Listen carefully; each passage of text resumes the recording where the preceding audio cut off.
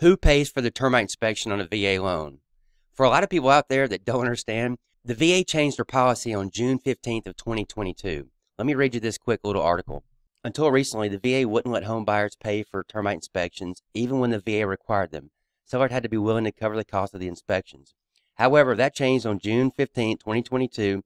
Termite inspections are now an allowable fee for VA homebuyers, according to the VA Circular 26 22 11.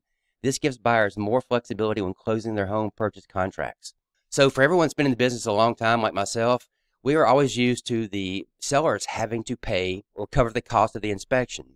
Now, this meant for a lot of deals, the sellers were the ones that were ordering the inspections, or the seller's agents were ordering the inspections on behalf of the buyers.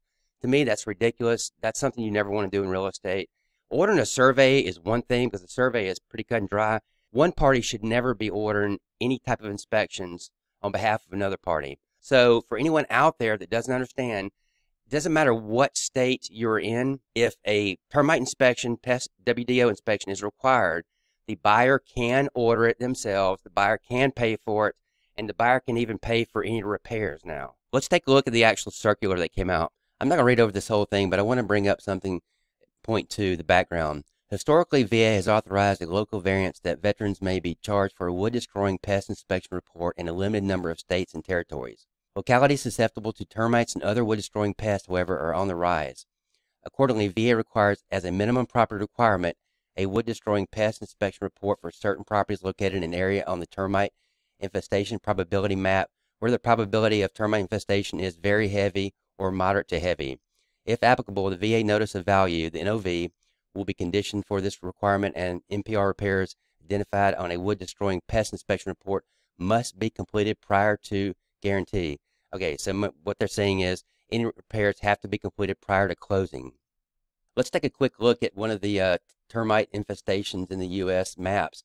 And you can see down in the south, I mean, all your major high, all your major high heat, high humidity states like, you know, Florida, Alabama, Georgia, Louisiana, you know, parts of Texas are all in the heavy area. You're guaranteed you're going to have to have a report in these areas. This is a quick map of what states are required by law to have a WDO termite inspection. So the action, effective immediately, VA is authorizing in advance as a local variance that veterans may be charged wood destroying pest inspection fees where required by the NOV. Veterans may also pay for any repairs required to ensure compliance with MPRs.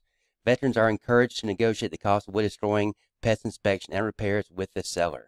Okay, there you go. So it's pretty cut and dry. Nowadays, buyers can pay for it. Um, so it shouldn't really ever be an issue. And honestly, most of the agents out there are going to know this, and the loan officers are definitely going to know this that are handling the VA loans. I want to wrap up, but I want to show you that this is a problem, and this is a copy of a text that an agent sent me that he received on a deal he's working with the buyer's agent, and these buyers are using a VA loan.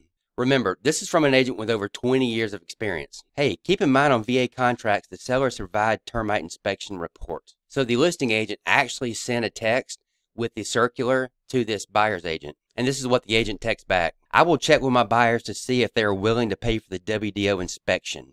Now, this agent's going to check with their buyers to see if they're okay with paying for the WDO pest inspection. That's kind of silly because they have no choice. The poor buyer should have been better educated not only from the agent, but also from the loan officer on this deal.